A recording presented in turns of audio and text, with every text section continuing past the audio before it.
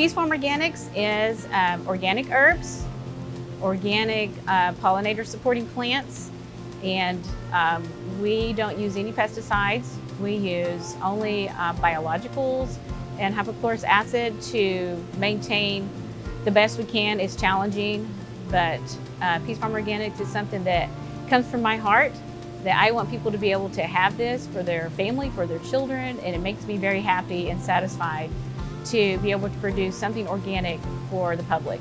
Parks Brothers was started back in the late 60s by my grandfather and my father and my uncle and they were farming and then they eventually got into more of a flower production and stopped farming in about 1986. We started working in the farm, in the field actually, when I was seven.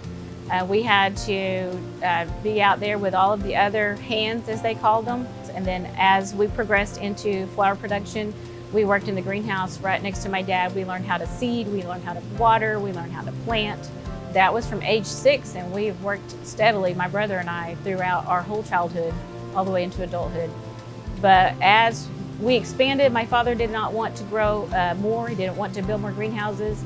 So he said, if you, if we were going to expand, that we kids need to make our own business where we grow for Parks Brothers. That's uh, where we kind of got started. I have my own van that I run locally to places like Ozark Natural Foods, I have the Whole Foods account for uh, Arkansas and Oklahoma, and then I do some deliveries in the off season to some of our local greenhouses.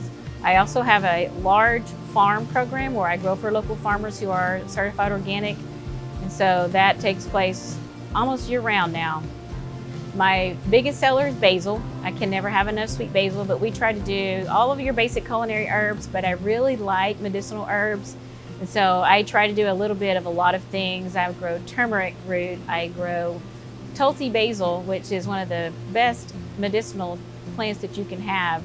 And so that has developed into a lot of teas that I make. And I'm actually planning to open my own garden shop in Fort Smith at the barracks next year, coming soon, where I will sell my herbs and my, my things that I make with my herbs, almost like an herbal apothecary.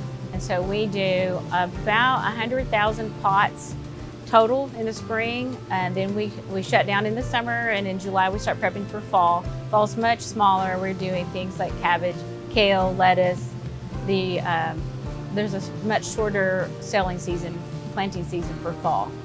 If you are looking to uh, shop for Peace Farm on the website, peacefarmorganics.com, there is a list of all of our garden centers that we supply so you can look up the closest one to where you live.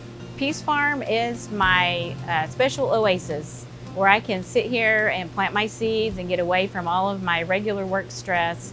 It's my happy place.